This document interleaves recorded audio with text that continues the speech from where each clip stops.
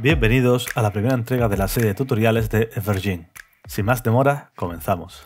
Evergene es un motor gráfico industrial basado en componentes que está desarrollado en tecnología.net y está diseñado para ser completamente multiplataforma.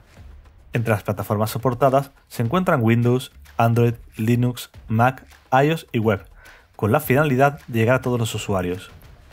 Evergene permite integración en aplicaciones industriales donde coexisten elementos 2D y 3D.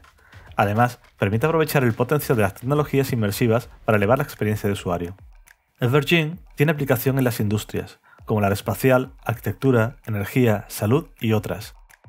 Realizar simulaciones, idear nuevas experiencias, crear holografías, entrenamiento virtual o entretenimiento son algunas ideas que se pueden desarrollar con Evergene. Dispone de una documentación donde se describe el uso de las características mediante rápidos manuales con ejemplos. Se puede acceder a ellos mediante los enlaces que aparecen en pantalla y la descripción del vídeo.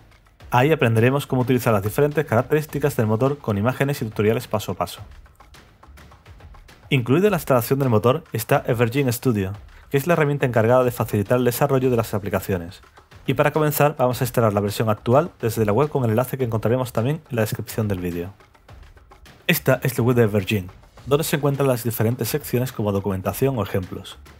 Podemos ver un acceso a la sección de descarga y si pulsamos en ella iremos a la página de requisitos e instalación. Antes de descargar, comprobamos que el sistema cumple con los requisitos mínimos para ejecutar el motor. Si no disponemos de alguno de ellos, tendremos que instalarlos.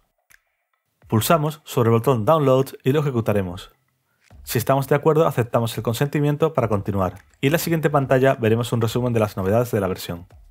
Continuamos con la instalación hasta el final. Tras unos segundos tendremos la última versión instalada en nuestro ordenador y podremos acceder a Evergene Studio desde el menú de inicio o haciendo doble clic en los ficheros del proyecto que han sido asociados a la herramienta. Hasta aquí hemos visto una pequeña introducción al motor e instalación de la última versión desde la web. En próximos vídeos mostraremos cómo crear un proyecto desde el inicio y cómo le añadimos funcionalidad para crear nuestras aplicaciones. Si te ha interesado este vídeo y quieres continuar aprendiendo más sobre la herramienta, no te pierdas el resto de los vídeos del canal. Hasta pronto.